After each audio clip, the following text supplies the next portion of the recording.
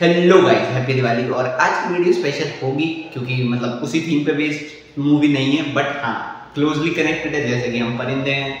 उड़ के आना पड़ता है दूसरी सिटीज़ में, दूसरी जगह पे, ताकि अपने घर को, जो इस साल इतना रोशन है, उसको और रोशन कर सके अगले साल के लिए।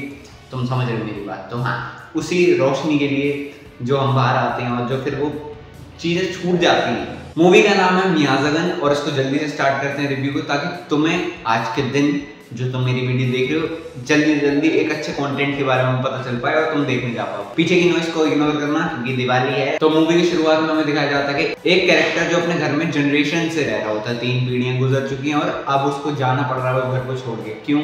फैमिली मैटर्स यू नो फिर जो हमारा लीड है, उसको 20 साल के बाद वापस अपने गाँव जाना पड़ता है। क्यों? जो उसकी छोटी बहन है, उसकी आज शादी है। और जो अपना लीड है, वो जब अपनी बहन की शादी में जाता है तो उसको मिलता है एक बंदा, जो कि उसको बताता है कि आप मेरे बड़े भाई हो और उसके बाद से वो उसी के साथ चिपक जाता है और फिर वो जहाँ भी जाता है, वो उसके साथ ही रहता है। बट ट्विस्ट पता है क्या है? जो अपना लीड है, उसको पता ही नहीं कि छोटा भाई है कौन। उसका नाम ही नहीं पता, उसको वो जानता ही नहीं। बट उसके मुँह पे कहना भी नहीं चाहता, क्योंकि तुम्हें पता है, थोड़ा ऑकवर्डनेस कि मैं उससे पूछूँगा कि भाई तू है कौन? मुझे पता नहीं चला। और वो इतना सामने से इतना अफेक्शन दिखा रहा तुम्हारे लिए तो कितना अजीब हो जाएगा, समझ लो बहुत सेम सिचुएशन उसके साथ है। और भाई जो इमोशन और तुम्हारे चेहरे पे स्माइल एक साथ आएगी ना, जब वो उसको गिफ्ट दे रहा होता है उसकी शादी के, रोते रोते, वो फील होता है। पता नहीं क्यों, पर होता है। कुछ कुछ चीज़ें फील मेरे को ही हो जाती हैं कि मेरे को समझ नहीं आता कभी कभार और जो मैंने ये कहा कि ये जो गिफ्ट देने वाला सीन है, क्योंकि वो क्योंकि वो पहना रहा होता है, वो गहने अपनी बहन को 20 साल बाद।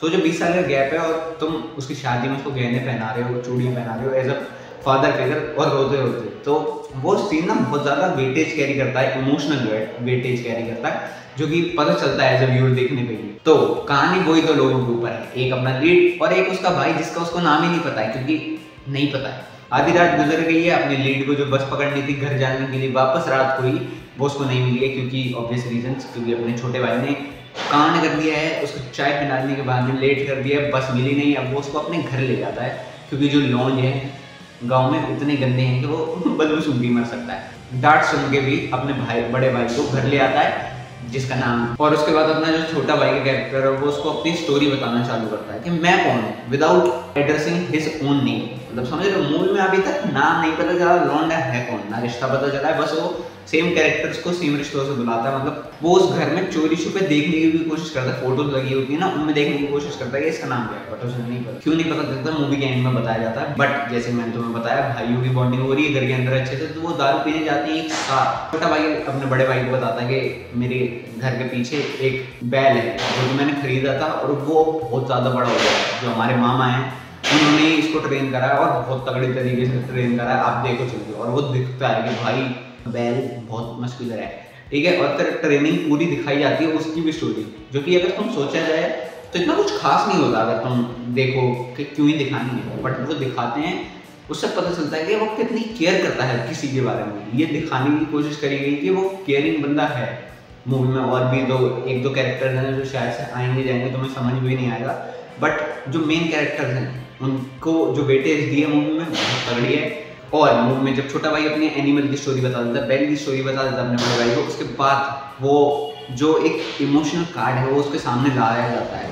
जो बड़ा भाई है, वो अपना घर छोड़ के जा रहा था तो उसने ना अपनी साइकिल जो उसकी साइकिल थी, उसने वो वहीं छुड़वा दी थी और कहा था, किसी ज़रूरतमंद को दे देना ये साइकिल और सोचो वो किसको मिली होगी? यस यू गेस्ट राइट छोटे भाई को जो कि दूर का छोटा भाई है, उसको मिलती है और वो लिटरली उसकी लाइफ की सबसे बड़ी अचीवमेंट या वो सबसे बड़ी चीज़ है उसकी लाइफ में।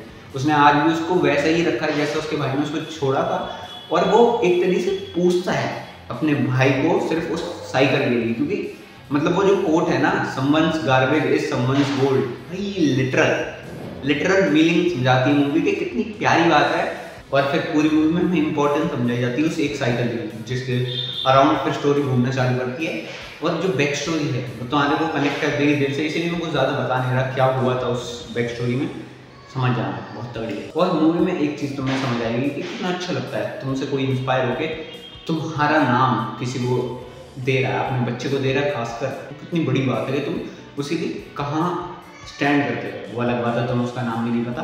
देखो, अगर मैनिफेस्टेशन जैसा कुछ भी होता है तो मैं एक चीज़ कहना चाहूँगा इस वीडियो के माध्यम से कि ये जिस घर में मैं रह रहा हूँ, मेरे पास इतनी क्षमता हो जाएगी, मैं कमा के उस घर को खरीद सकूँ, क्योंकि I really love this place मेरा बचपन यहाँ गुजरा जो चीज़ें मैंने सीखी हैं, जी हैं, वो एक बहुत ही की फैक्टर है बिकॉज़ ऑफ़ दिस हाउस मतलब मैं बहुत प्यार करता हूँ उस से। सीधी बात ये है। और मूवमेंट डायरेक्टर ने एक चीज़ सिंबलाइज कर दी, बहुत प्यार से, जो कि शायद से ही सब लोगों को कैश हो। जैसे छोटा भाई है, वो अपनी बड़े भाई की चप्पल पहन रहा था दारू के नशे में तो वहाँ डायरेक्टर सिंबलाइज कर रहा था कि वो धीरे धीरे अपने बड़े भाई जैसा हो गया है। उससे आगे ही निकल गया है, क्योंकि वो मूवी में बाद में भी बताता है खुद बड़े भाई का कैरेक्टर कि मैं खुद अपने इस वाले इंसान को भूल गया था जो तुम जी रहे हो या जो तुम खुद हो गए हो। और फिर जब छोटा भाई का कैरेक्टर जब बड़े भाई को कहता है कि, भैया, अभी आप सो जाओ, फिर सुबह उठ के ना आप मेरे को, मेरी बीवी को और मेरे पूरे परिवार को आशीर्वाद देना जो मेरा आने वाला बच्चा उसको भी नाम लेकर।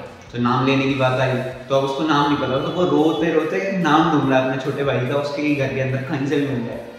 वो एट दी एंड क्या सोचता है कि मतलब इस सिचुएशन से कैसे एस्केप करेगा इंसान? वो भाग जाता है लिटरली तीन, चार बजे घर से। महीनों के बाद वो अपने छोटे भाई को कॉल लगाता है, जो कि उसकी बेटी की वजह से लग जाता है। उसके बाद जब वो बात करना चालू करता है और वो बताता है कि मैं अपने इस वाले वर्जन को भूल चुका हूँ, छोटे भाई, जो तुम जी रहे हो, जो तुमने मेरे को सिखाया, सिर्फ़ वो एक रात में। और मैं खुद शर्मिंदा था कि मैं उसका नाम नहीं जानता, जो मेरे को इतना प्रेस करता है, इतना प्यार करता है, इतना दुलार करता है। आप शायद से भूल गए होंगे बट आपने मेरी ज़िंदगी बदल दी। बीस साल पहले जब मैं आपके घर आया था सब कज़न हमारे घर पे बीस कज़न ग्यारह कज़न तब आपने मुझे बहुत सारी चीज़ें सिखाई, और मैं वो ही अपनी लाइफ में इम्प्लीमेंट करता गया। वो जो प्यार है, उसकी वजह से ही शायद से आज जो बॉन्ड उनका वापस से रिकनेक्ट हो पाया, वो बहुत प्यारा लगता है। और जब मूवी का एंड आता है मूवी के एंड में दिखाया जाता है, उसका नाम क्लिक कर गया है, और वो उसको बता दूँगी कॉल कट करता है, अगले दिन उसके घर पहुँचता है, मंदिर जाता है, पूजा कराता है नाम की और फिर उसके घर जाके उसके नाम से उसको पुकारता है जब जाके गेट खुलता और वो जो और वो जो एक शॉट है छोटे भाई के कैरेक्टर का, हर रोते हुए आँसू निकल रहे हैं और खुश है। मज़ा! और मूवी का जो ये मज़ा है, वो मैं आप सबको देना चाहता हूँ, दिवाली के इस अवसर पे। तो हाँ अगर हो सके तो ये मूवी को ज़रूर देखना और स्वस्थ रहना, मस्त रहना मूवी में उससे दुरुस्त रहना और पटाखे ऐसे छोड़ो भाई। दिवाली पे ये मत देखो कि भाई, अरे भाई पोल्यूशन हो जाएगा। देखो पोल्यूशन हो जाएगा ऑब्वियसली हम दिल्ली में जी रहे हैं हमें आदत हो चुकी है दो तीन साल से तो आ, ये थोड़ा बहुत वापस राइज करेगा थोड़ा बहुत नहीं बहुत राइज करेगा बट नो प्रॉब्लम क्योंकि दिवाली है। हमारे बच्चों को भी तो पता होना चाहिए होता क्या था दिवाली? हमने मना ली उनको नहीं पता चले। No no no no bye bye at last happy Diwali. Subscribe करने का मन करे कर देना दिवाली गिफ्ट हो जाएगा मिठाई तो तुम दे नहीं पाओगे। क्योंकि ऑनलाइन मिठाई कैसे एक्सचेंज होगी? जी आई एफ़ भेज देना ठीक है? गिफ्ट भेज देना और मैं मिलता हूँ तुमसे अगली वीडियो में एक नए रिव्यू के साथ, एक नई स्टोरी के साथ। तब तक के लिए bye bye peace out happy Diwali भाई लोग और खुश रहना मस्त।